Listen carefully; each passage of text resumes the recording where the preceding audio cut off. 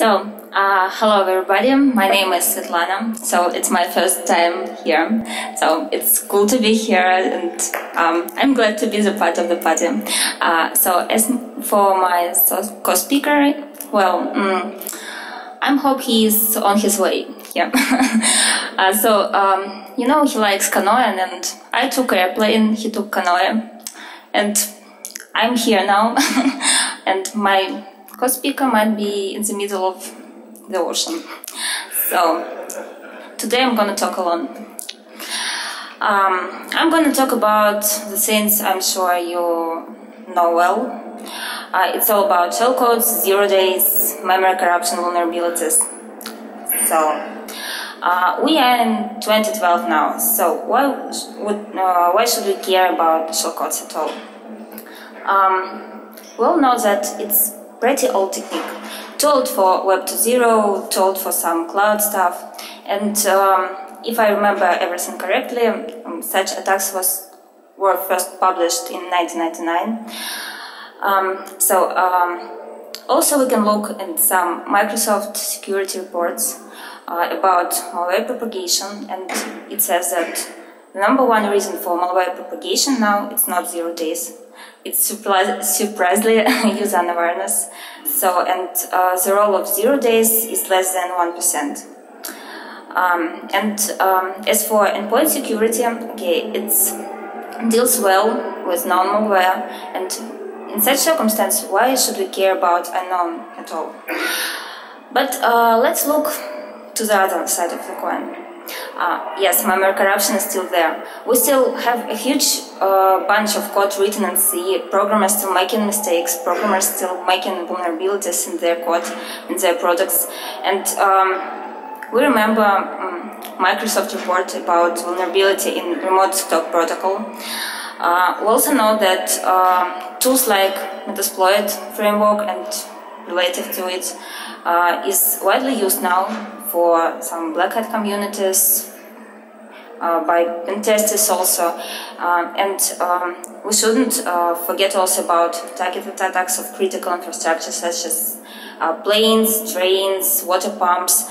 Um, it's really serious and um, we should care about it because it can lead to human victims. So it's worth to detect it as fast as possible.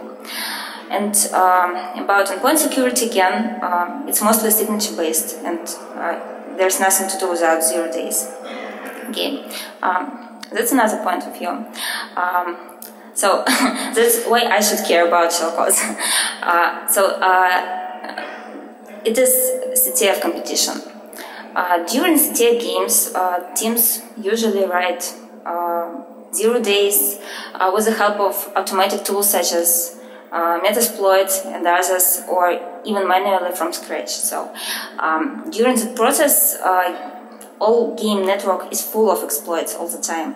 Uh, and uh, if your team is able to detect uh, such exploits and analyze it, uh, you can gather some profit from it. Like you can gather some ideas from other team. You can gather, um, I don't know, you can increase your defense level.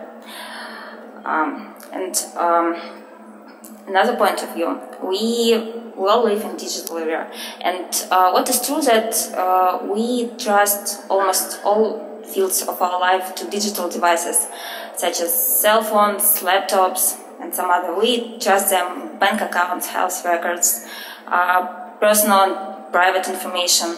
We share it also with social networks, cloud providers, and the problem there is that um, such devices use um, a huge amount of different software written by programmers who, work under pressure of time limitation, resource limitation, uh, managers who prefer quantity and no quality.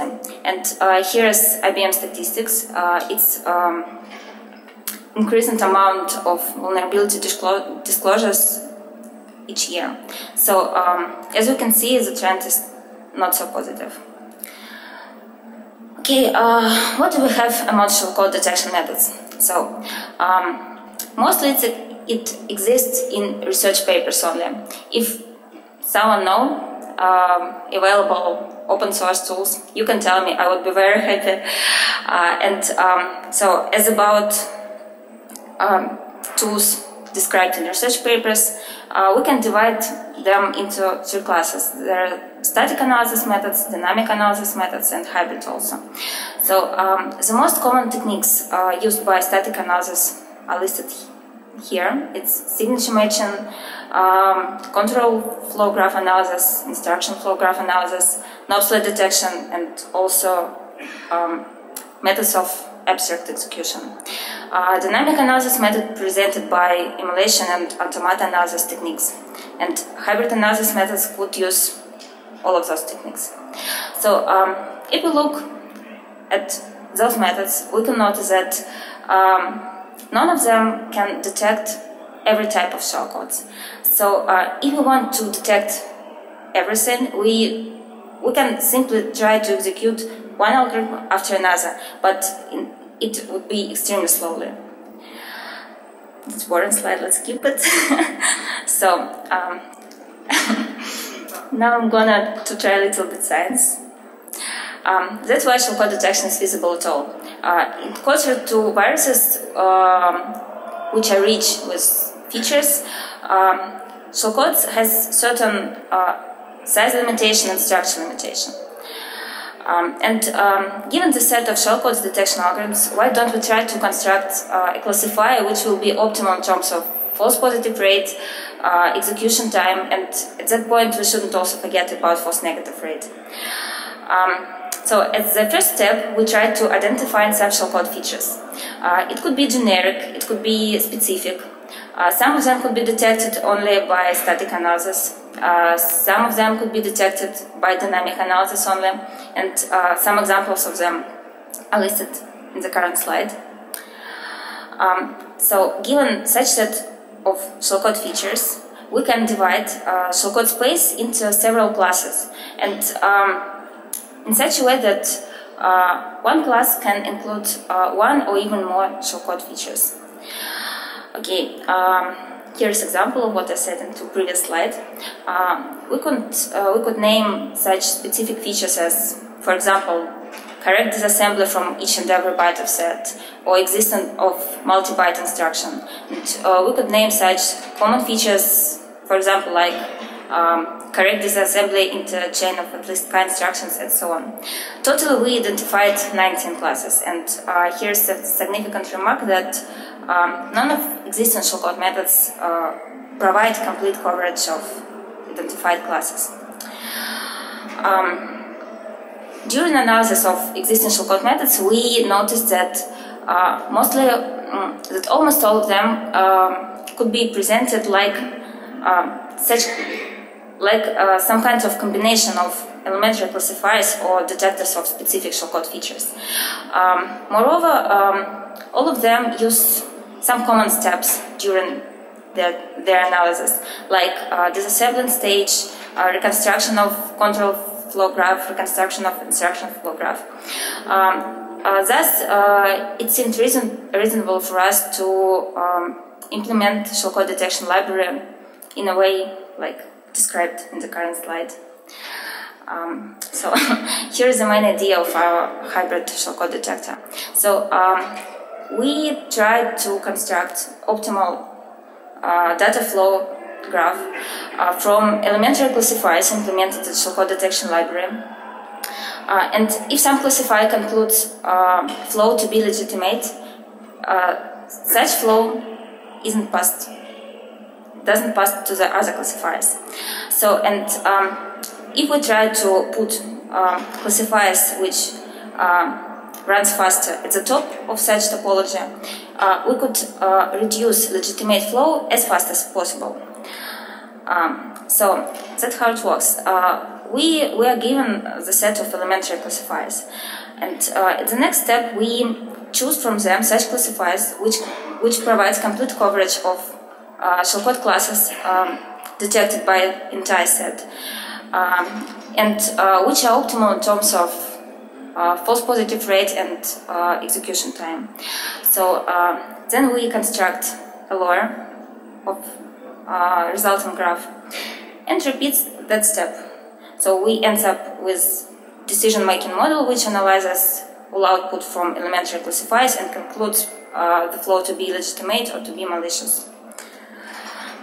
Um, as uh, one of the important goals of that work was to uh, minimize false positive rate, um, we noticed that we could achieve um, such goal uh, in simple linear topology when we execute uh, execute uh, one elementary classifier to another, and um, there is no flow reduce, reducage in such case. And um, there are evaluation results. We compared our hybrid topology with simple linear topology uh, in four different data sets. Um, it was uh, exploit dataset, exploits generated by Metasploit framework. Um, it was benign uh, Windows and Linux binaries, random data, and multimedia also. And here's visualization.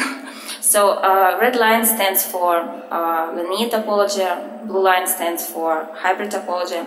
As um, and as you can see uh, on some datasets, um, hybrid topology is more effective than linear up for 45 times. So there's a couple of use cases for hybrid classifier.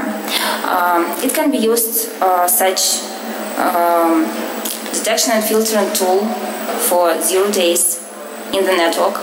It also can be used in CTF competitions um, as it could help to increase uh, defense level of team and could help to gather ideas from other teams. And just a second, it's a little bit demonstration. Okay, um, so you can download the tool from GitOraus. building, building, building.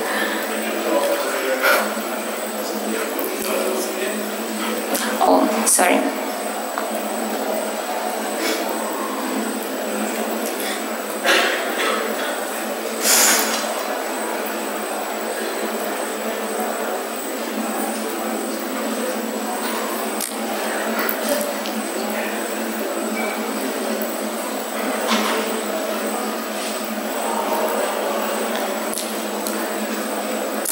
So it's this case of detection shellcodes in the network.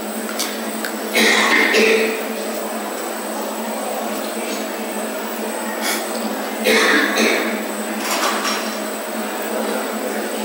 we can see we catch something in use case of detection shellcodes in the files.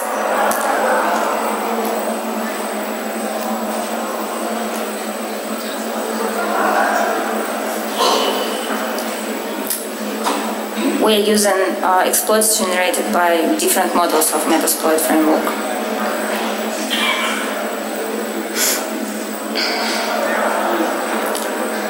As we can see, we are detecting different classes of shellcodes like plain shellcodes, shellcodes which contains NOP sled, um, and also which contains decryption. So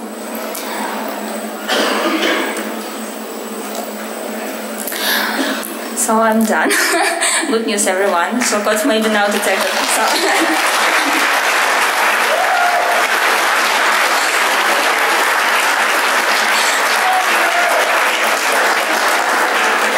So. now it can be detected up to 40 times faster than before. And you can download our tools and use it. So, um, if you have any questions, here's some information about me and my co-speaker Dennis and also information about research papers used in the current presentation. Thank you.